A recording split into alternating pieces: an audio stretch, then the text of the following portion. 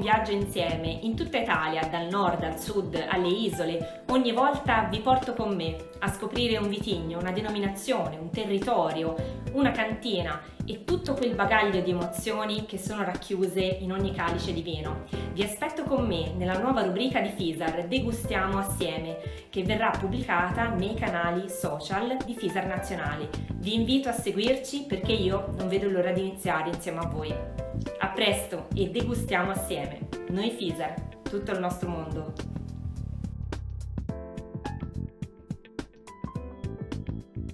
Yes.